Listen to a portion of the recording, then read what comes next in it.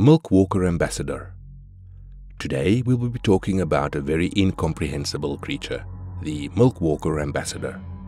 The creature was first mentioned in a tweet by Trevor Henderson, and the internet went into a frenzy and different theories surfaced. The Milk Walker is a creature which can be summoned by performing a certain ritual. As every unearthly ritual, there are many risks involved. When the creature appears, it asks questions from the one who summoned it. For instance, who are you? Where are you from? Where do you live? The person who summons it has to answer every question very carefully, else it has serious consequences.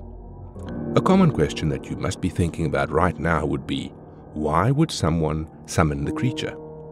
The answer is the people and their mentality these days how they follow each and every trend out on the internet without even thinking about it. Most people are intrigued and want to experience stuff. Summoning the Milk Walker ambassador is one of those things. People want to know what would happen if they do summon it. The ritual to summon the Milk Walker goes like this. Take a milk carton and leave it there to expire to a point where the milk inside rots. Then inject two or three drops of your own blood into the carton the person who is summoning the creature then needs to bury the carton under an oak tree for some months. The time for the ritual is not specified. Sometimes it takes some days and other times it takes months. Then the summoner needs to burn his or her name under the oak tree.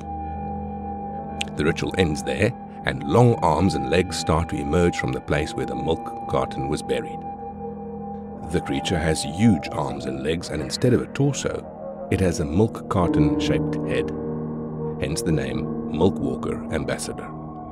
The creature has no gender as it's an animated milk carton. It's huge and roughly about 30 meters tall. The Milk Walker Ambassador can change its size to fit into the surroundings which make him even more unique because it's not a shapeshifter. The monster does not have a neck or a body, just a head which is a milk carton. For its face, it has a mouth, nose and two eyes which give off very odd expression every time. The creature then appears in front of the summoner and starts asking questions. If the person answers everything according to the milk walker, then he or she lives. Else there are wild consequences. There are two ways to deal with the creature. One is to answer the questions the way mentioned prior. The other is to destroy the milk carton used in the ritual, which is almost impossible. The first question the creature would ask will be the summoner's name. The correct answer would be telling someone else's name. This was because the named person would have to lose something very important which depends on the milkwalker.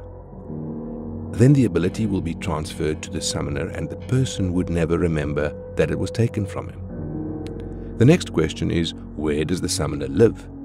The person should answer a place where he or she wants to go. The creature would create possibilities and the summoner could actually go there. If the person names the place where they live, then the place somehow is set on fire by the creature. The next question is the safe question. Where are they from? Not every question that the creature asks has severe consequences.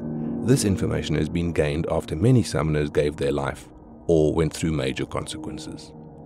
Then the creature asks the final and trickiest question who do you call? Answering this question means inviting your death. If the summoner answers this question by saying their name, then the creature goes back and the person gets a weird urge to drink the rotten milk. If he does that, then he will be transformed into a milk walker. So it's better to stay away from the milk walker and the ritual at all costs. Remember to leave a like and comment about the video below. Subscribe to support the channel and check out my Patreon in the description below. I'll see you guys in the next video.